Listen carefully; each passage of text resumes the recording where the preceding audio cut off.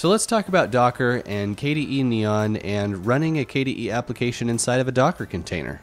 Running KDE Neon inside of a Docker container gives you the ability to sort of test the core KDE applications without actually installing KDE or any dependencies on your system. Everything is contained within a virtual file system inside the Docker container. The KDE Neon Docker image actually uses Xephyr to serve up a super lightweight X session. What's super cool about this is you can run KDE Neon inside of a Docker container on any distro in any desktop environment. So to get started with KDE Neon and Docker, you'll obviously need to install Docker, but also Xserver Xephyr. Now installing Xephyr is pretty straightforward, but Docker can be a bit temperamental and it actually varies between distribution and distribution.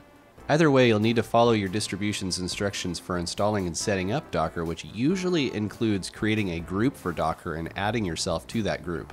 Xephyr is cool because it doesn't require any configuration or anything, it usually just works. Once you've got the prerequisites done, you'll use Docker to pull down the KDE Neon Plasma image. Now, the KDE website actually has a page for running KDE Neon inside of Docker.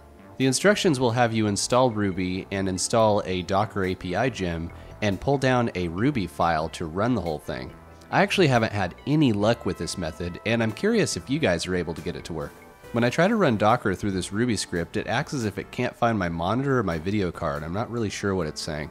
I don't really know enough about it to debug it, so I just went to the GitHub and followed the instructions there. The directions from GitHub will have you run the KDE Neon Docker image directly and specify an application at the end of the command. In this case, we're going to be using Dolphin. Now notice that my desktop theme is dark, but the Dolphin that spawned out of the container is light. Applications that come out of the Docker container are not going to inherit anything from the host desktop. That also means that you can't run applications or open files from the host in the guest. So even though we have two Dolphin file managers here, they can't talk to each other.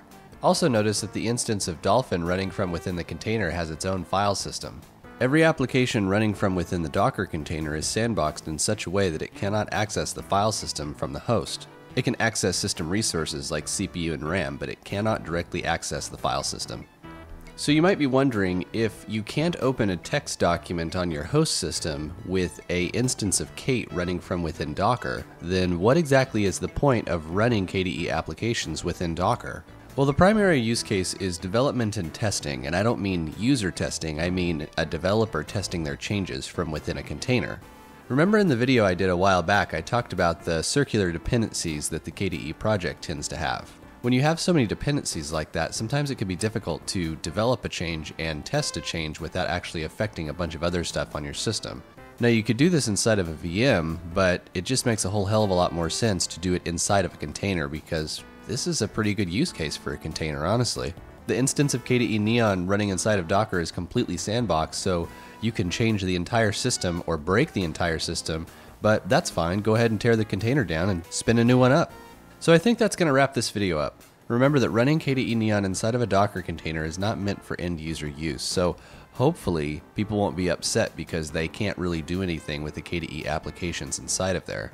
I hope that you enjoyed this video, and if you did, leave a like, comment, subscribe, share the video with your friends, and as always, thanks for watching.